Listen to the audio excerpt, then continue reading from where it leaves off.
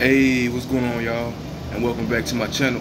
Hey, so today we're gonna dive into an important topic: acts in the United States Code. Y'all ever wonder how these laws are organized and made accessible to us in the United States? Well, that's where the United States Code comes in. So let's get started.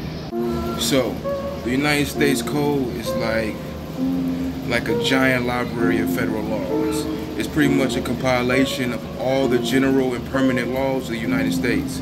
These laws cover a wide range of topics from crimes and criminal procedures to uh, commerce and trade to tax laws and pretty much not pretty much but everything in between that everything everything that we do all the laws that govern us are covered in the U.S. codes so what are the acts in the United States Code so basically, the acts are just individual laws that have been passed by United States Congress.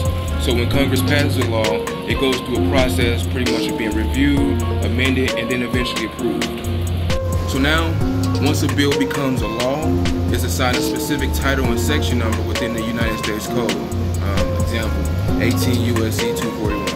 Um, but this allows people to easily locate and refer to the law when they need to understand its provisions.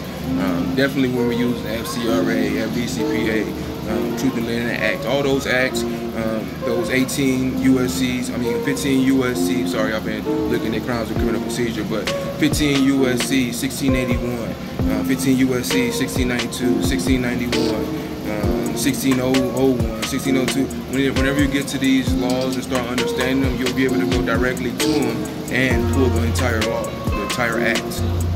So these acts can come from pretty much a various amount of sources, such as like public laws passed by Congress, joint resolutions, or even executive orders that have been the force of law. But regardless of their origin, once these acts are codified in United States Code, they are officially law, federal law.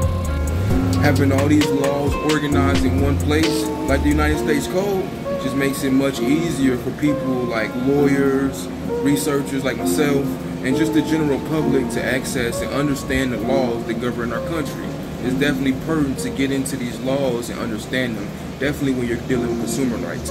Well, when you're dealing with, dealing with any type of rights, it's definitely um, important to understand these laws. Um, and they're there for you to go and understand them. So definitely get into these and, and start understanding what's going on. So next time you hear about an act or a law being referenced, remember that it's like a specific piece of legislation that has been assigned a place in the United States Code. Um, it's like a giant bookshelf of laws for us. So that's all for today's video. I tried to keep it brief, but I hope y'all found it informative and I was able to shed some light on acts in the United States Code. Um, don't forget to like, subscribe, and hit that bell icon to stay updated on my future videos. Thanks for watching and holla at you. Safe travels.